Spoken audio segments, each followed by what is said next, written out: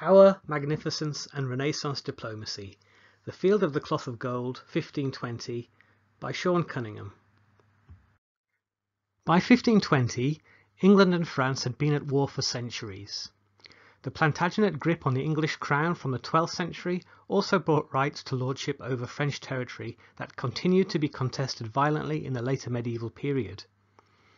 These wars had a major impact on politics and trade across northern Europe in the 14th and 15th centuries especially.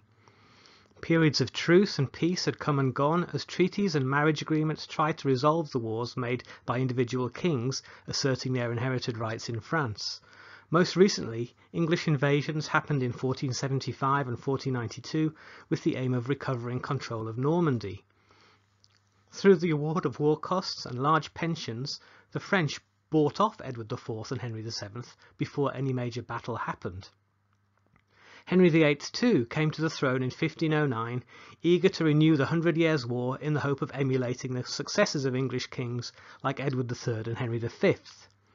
For five months from June 1513, Henry invaded France from the English base at Calais. He won a minor victory at the Battle of the Spurs on the 16th of August and by the end of September had captured the town of Terouanne and the city of Tournai. Henry also was in a stronger position when France's ally, James IV of Scotland, was killed alongside most of his nobles and thousands of their men at the Battle of Flodden on the 9th of September 1513. The 1513 war with France and Scotland also had a wider context than historic Anglo-French hostility. It was part of a series of alliances to contain French aggression. In 1494 the French king Charles VIII had launched his armies across the Alps to claim the kingdom of Naples. In England, Henry VII developed his country's role in negotiations surrounding this war, but it was not until 1511 that England under Henry VIII finally joined the Pope's Holy League to protect papal lands from France and her allies. England's formal role in the League and support for the Pope also opened up other ways for Henry and his leading adviser, Thomas Wolsey, to exert England's influence. The entangling war in Italy drew in many European rulers and undermined the Pope's bigger plans to halt the westward expansion of the Ottoman Empire through Eastern Europe. As the costs of rebuilding and running Tournai as part of England increased by 1518, Henry VIII was willing to return it to France in return for an annual payment or tribute which he took as acknowledgement of his victory over the French. An opportunity for a bigger peace plan emerged as Cardinal Wolsey directed these negotiations with France. Using his status as a personal representative of Pope Leo X, Wolsey engineered an agreement between England and France, but also built broader plans for a permanent accord in Europe. During 1518 Pope Leo and Wolsey brokered a truce between conflicting countries and set up a mechanism for the Pope to arbitrate in the existing disputes between states, although Wolsey wanted to enhance his own and King Henry's role as a European peacemaker. Their efforts underpinned the universal peace that was agreed in London in October 1518. An agreement for the marriage of Henry's daughter Mary and Francois of Brittany, the Dauphin of France, underpinned Wolsey's vision of a move towards Anglo-French cooperation. He then spent the following two years planning a spectacular event centered on a meeting between Henry and Francis to ratify in person the sentiments expressed in the alliance agreed in London. Papal pressure to find a way to unite Christian countries in a common cause echoed the optimism that accompanied the accession between 1509 and 1516 of three dazzling young kings in Europe. These were England's Henry VIII, born 1491, Francis I of France, born 1494, and Charles V, ruler of Spain and the Netherlands, born 1500, who also became Holy Roman Emperor less than a year before the Field of Cloth of Gold took place. All were educated with the knowledge of the new humanist learning prevalent in Europe as classical texts were rediscovered and printed for the first time. With similar outlooks, but competing aims, balancing the individual power and prestige of these rulers became an important priority for diplomats in all three countries. Maintaining perceptions of parity and equality of status between rivals in time of peace was the best guarantee of avoiding war. In England, While Henry VIII wanted the glory of victory in war, by 1518 he was mindful of the risks and costs. He was also conscious that the greatest victory of his reign at Flodden had happened when he'd been out of the country. A more nuanced political approach was therefore needed if he was to achieve his ambitions. The Field of the Cloth of Gold, held 500 years ago, therefore served the political end of peace but also demonstrated military preparedness through the mustering of the royal households, nobles, knights and their followers. It celebrated the treaties between England and France through the mock warfare of tournaments, but the military leaders of both countries were prepared to the very point of actual fighting. Charles V was literally peripheral to the event at the Field of the Cloth of Gold, having moved his court to the Burgundian frontier a few miles from the site of the Anglo-French gathering. Henry also held interviews with Charles before and after he met with Francis. The field therefore turned out to be an expensive interlude in the suspicion and competition between these most dynamic of kings in Europe.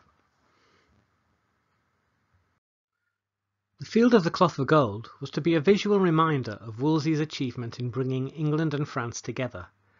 It was important in building hope that a major political shift could be sustained by preserving the dignity and image of kingship short of war. In charge of the preparation of the site and immediate arrangements was the Chamberlain of Henry's royal household, his cousin Charles Somerset, Earl of Worcester. Somerset had served right through Henry VII's reign as a diplomat and captain of the King's Guard. He had been brought up during exile in France before 1485 and was experienced and capable in dealing with French nobles and officials. The queens and their households were also present at the field. The spirit of peaceful competitiveness also affected them. Although only 20 years of age, Claude was seven months pregnant with her fifth child in 1520. The Queen's household perhaps numbered 200 named officers and companions, but the numbers of servants brought expanded the numbers considerably. Accompanying Claude was the young Anne Boleyn, who was part of her household. The queens met on the 11th of June when they arrived to watch the start of the jousting. The Chronicle of Calais also suggests that they met each other regularly outside of the formal events, banquets and dances. Henry VIII and Francis I met at a temporary town of tents and portable buildings built between Guisnes and Ardres in the Pale of Calais to house them, host meetings, banquets and dances, and accommodate thousands of their courtiers and servants. The Pale was an area of about 86 square miles around English Calais, bordering French Picardy and the lands of Charles V in Flanders. The event was a grand celebratory tournament, with all the trappings of outlandish wealth that two powerful national rulers could muster. We know what took place from the documents that sorted out the payments and costs, like this book of accounts of the King's Chamber in England. The colourful written report by the chronicler Edward Hall supplies real detail, and a picture painted almost 20 years later gives us a great visual reference of what went on. Again, from the chamber books we can pick up some of the high-level information of the costs and timescales needed to do the preparation work at Guisnes. The first entry here records the expenses of 100 carpenters, 50 glaziers and 24 painters sent with consignments of lead and tin to work on the buildings required for the field at Guisnes. The second entry shows payment to two men for making batons and garnishing the new house at Guisnes, and the final extract lists wainscot boards needed at Calais and some of the costs for making tents, and a total of £3,599, 7 shillings and 10 pence spent by the King's Chamber in the first week of May alone. These records summarise the bills and costs drawn up by individual workmen or supervisors for the tasks they carried out. Most of this type of evidence has not survived, but where it does, for the officers of the armoury, kitchen, revels or wardrobe, we can see in minute detail the effort required to present Henry VIII in the magnificent way he expected. Of great interest at the time, and currently to staff at Historic Royal Palace's Hampton Court, was Henry VIII's portable palace. It is described as the King's Building in the records showing the build-up to the field, and it's depicted prominently in the Hampton Court painting. It was built outside of the gates of Guisnes and had four blocks of rooms around a central courtyard over two floors, with an elaborate staircase and a fountain of wine permanently running outside. The walls were brick up to about the height of 8 feet and then timber framed up to 30 feet. As with many campaign buildings like bakeries and brewhouses, it was a very sophisticated and elaborate version that was built in sections in England and shipped to its destination by sea. Did this picture remind an aging Henry VIII of the high point of his chivalric magnificence in European affairs? Nevertheless, it's important to us as a record of what took place at the Field of the Cloth of Gold. The picture captures the key events of the meeting in a series of separate elements combined into one painting. In 1520, this was the most recent, unusual, and magnificent of meetings between the King of England and a foreign ruler. In organisation, it had a direct connection to Henry VII's discussions for ten days in May 1500 with Philip the Fair of Burgundy at St Peter's Church outside Calais. Elements too of Philip's unexpected journey to Windsor via shipwreck off Weymouth in January 1506 also informed how the English court prepared to meet with the French king 14 years later.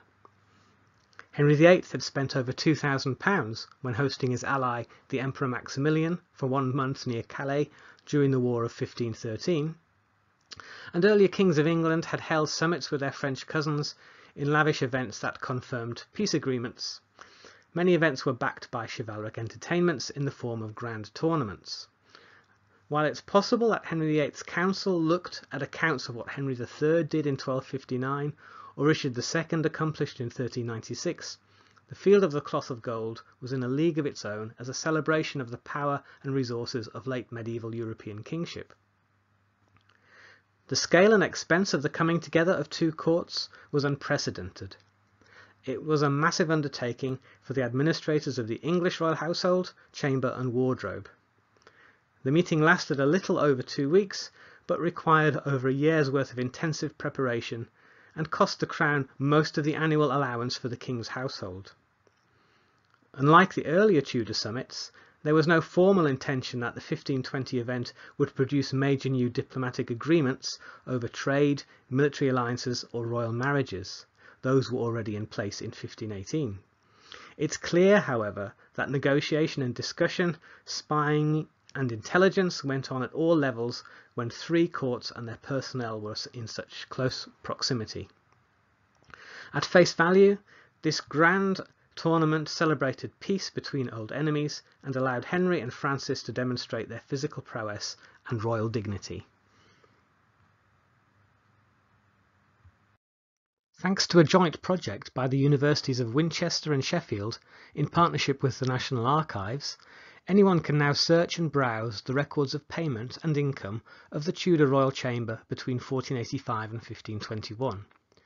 The project has transcribed the contents of the account books of the treasurer of the chamber, which reveal how Henry VII and Henry VIII lived their lives among their servants and courtiers, and how early Tudor England was governed in peace and war.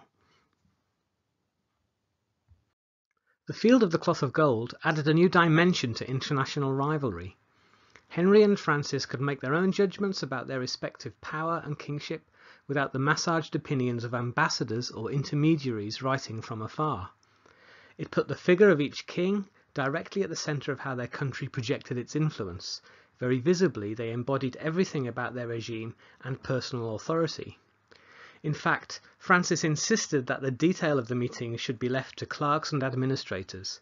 The kings should enjoy pastimes and competition suitable for their superior rank and status. Such statements offer a different way to view how these kings wanted to be judged by their fellow rulers, but also how they presented themselves to their own aristocracy, servants, and common people. The wealth of material gathered for such an extravagant projection of national strength and sophistication provides a wonderful snapshot of England's early 16th century cultural resources, social conventions, military innovations, fashion, building techniques and attitudes to food, drink and hospitality. Although distorted by the size of the undertaking as a peacetime substitute for military campaigning, the logistics and mechanics required to assemble all the parts of this event provide excellent information too on how the late medieval English state travelled to war. The kings were keen to test their physical prowess against each other, but the relative strength of their political power was demonstrated at their first meeting on the 7th of June. When Henry VIII's titles were cried by his King of Arms, the English claim to the Kingdom of France caused a moment of worry. Francis effectively brushed this off by implying that Henry could call himself what he liked. It would not change the reality of England's inability to conquer and hold on to the French lands or titles it claimed. Wolsey and Henry had worked hard to elevate England's position within the European diplomatic picture, but this was a reminder that any further building of reputation or greater prominence would require careful navigation around Francis I's power. Despite lengthy planning and negotiation, both rulers brought more troops than agreed. Until these two powerful kings met, the gathering remained precariously balanced between peace and war, suspicion dominated the outlook of the military commanders on both sides. Artificial mounds were built up around a shallow valley to enable each nation to observe the other as it approached. A royal tent set up by the English and decorated with cloth of gold and tapestries, marked the agreed meeting point. Each king approached slowly with three attendant courtiers, one of whom bore the sword of state. Both kings literally dazzled in clothes made from gold and silver thread, cut in the most fashionable styles and hanging with jewels, as evidenced in these records of purchases that gave the field its name. Even the English king's guard had gilded spears. These first impressions were important because they set the personal tone between Henry and Francis, from which the rest of their entourages would take their cue. In the weeks before the English and French kings began their respective journeys towards Guisnes and Ardres, final preparations and points of order were transmitted through Henry's ambassador at the French court, Sir Richard Wingfield. His report on the 3rd of May established the final agreements for the location of the initial meeting point and the form of the tournament that would be fought during the event. Francis agreed to travel into English territory on the condition that, as guests of Henry, he and his advisers controlled the conduct of the tilting, tourney fighting and duelling at the barriers. Wingfield put in a huge effort, working very closely with the Earl of Worcester and Thomas Wolsey to reach this agreement with Worcester's opposite commander, the Marshal of France, Gaspard de Coligny, Seigneur de Chastillon. The key element of the field was the chivalric competition between the knights and lords of both nations in the tournament. All the trappings of wealth, power, and ingenuity present in the clothes, buildings, and magnificent display were distilled into this main event. With so many prominent men in attendance, Limiting the numbers and opportunities to shine was one of the most pressing problems facing the organisers. It seems that between 200 and 300 English and French courtiers, including the two kings, put themselves forward to fight in one or more of the three competitions. Jousting individually with lances across the barrier or tilt, on horseback in the melee of the tourney, or on foot at the barriers. Each competition had its own rules on armour, weapons, point scoring, penalties and procedure, much of which had taken weeks to negotiate beforehand. Opportunities to fight had to be carefully managed to satisfy the honour and expectation of knights on both sides, so in a bid to include as many as possible, only eight passes at the tilt were allowed, with the obvious exception of both kings. Nevertheless, England's most experienced and skilled jousters got the chance to show their skills, including the Marquis of Dorset, the Earl of Devon, the Duke of Suffolk, and Sir John Carew.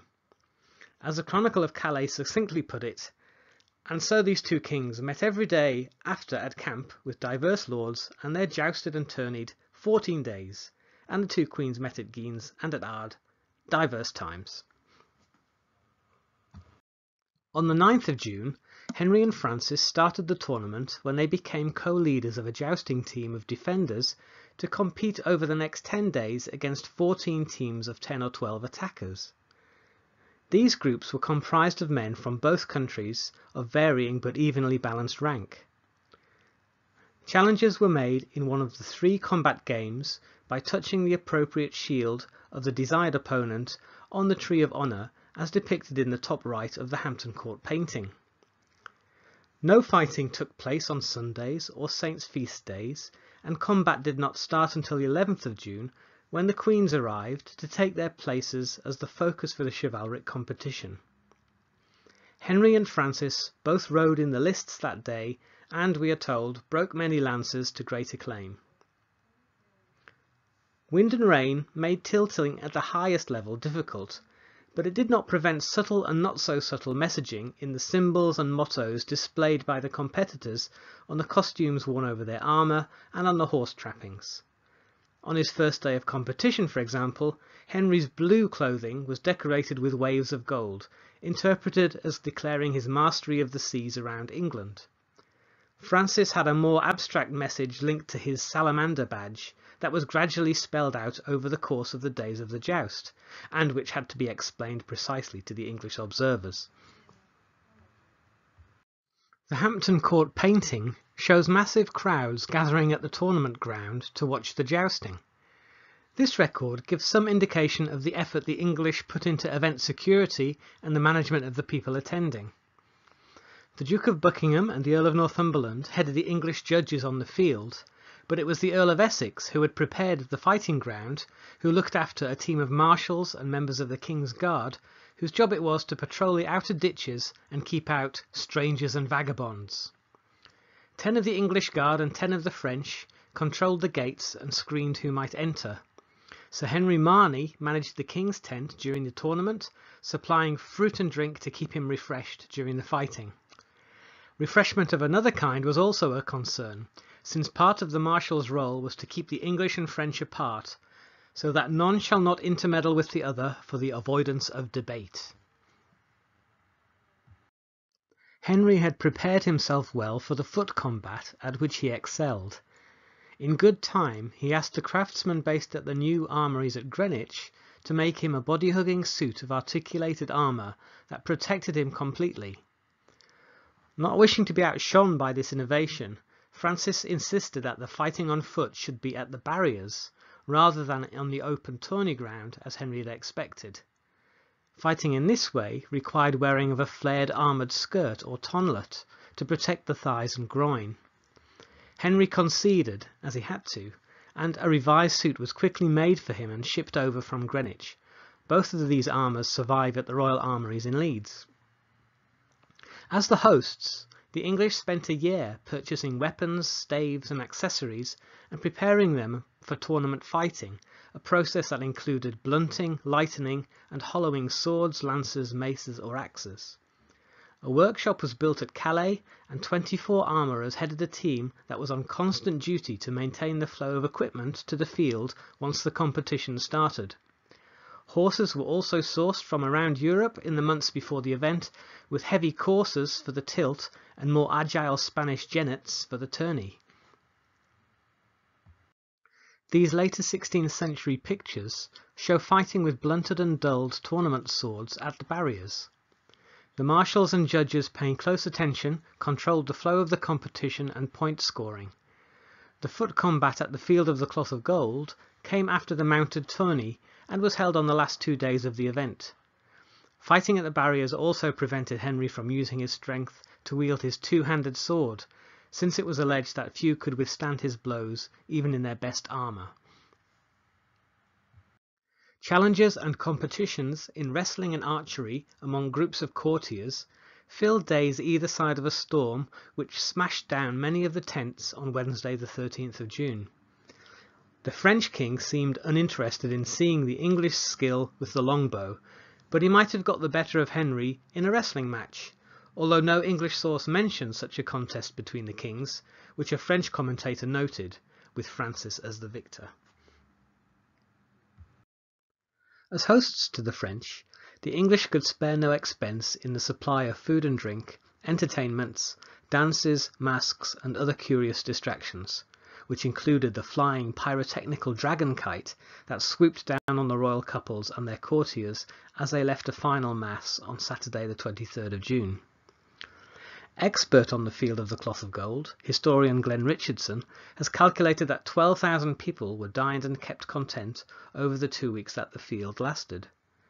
The figure shown here for the costs of the departments of the English royal household covered a six-week period that included another meeting with Charles V, and although the figure was eventually reduced to around £7,400, it still indicates the staggering amount of food and provisioning that was delivered through Calais and Guisnes, with some meat and grain also brought from French suppliers. As guests, the French also had to reciprocate hospitality in kind and without the issue of any insult to English cuisine or entertainment. Over the course of two weeks, mixing formal Sunday banquets with smaller scale personal meals and having the queens host feasts too, the kings dined as equals, with no difference in their status. Masques and dancing in Guisnes and Ardres were carefully planned to reach a height of fashion and sophistication in costume, music and refreshments, both Henry and Francis were athletic and very enthusiastic dancers.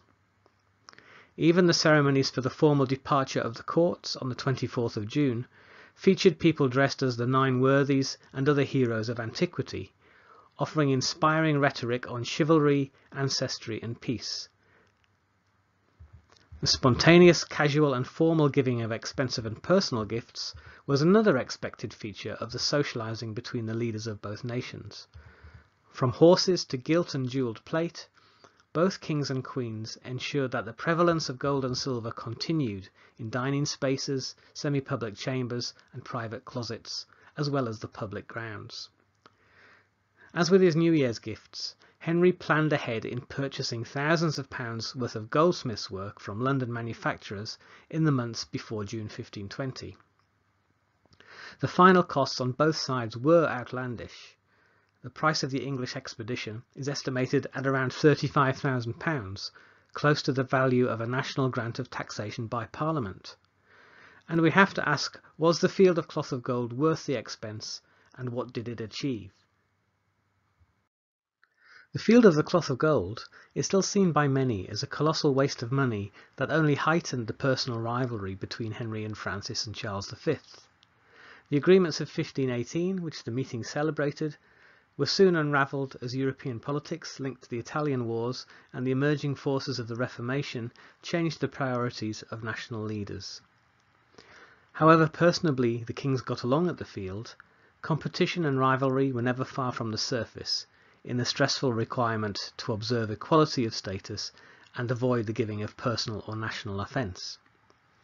Francis pushed these boundaries of tact and common sense more often than Henry, most memorably, on the 17th of June, he rode with a few companions into English territory and demanded entry into Henry's chamber in Guisnes Castle.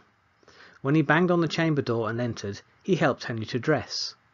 All presented as an act of friendship and trust, but potentially divisive as an assertion of his right to invade the national and personal space of his royal rival. Francis took this confidence away from the field very pleased with the way the English had underlined his personal power. The event certainly left a larger hole in the resources of Henry than it did in the King of France's finances. As implied already, though, the proximity of the three kings allowed Wolsey to speed up his plans and negotiations for a formal alliance between England, France and Burgundy Spain. This looked unlikely to happen by the time Henry hosted Charles at Calais on the 11th of July, where they agreed to maintain all treaties and alliances already in place between them. That this meeting, and Charles's brief stopover at Dover at the end of May before the field, had happened at all, was a result of Henry's agreement to meet with Francis on equal terms. Charles was worried that this friendship might deepen to the disruption of his own power in the Netherlands. The field had put England fully into the European diplomatic picture. Yet the field and its focus on England's political position had also only paused the rivalries between Charles and Francis in Italy over claims to rule Milan and the Kingdom of Naples. Over the winter of 1520, conflict flared once more and all states were once again compelled to think about the terms on which they would take sides. The universal peace of 1518 seemed to dissolve by the summer of 1521 as war became inevitable, despite Wolsey's efforts. England was soon firmly allied with Charles V against Francis, cemented by Charles's visit to England in May to July 1522. A three-year war with France then followed, in which Charles V became the dominant power in Europe.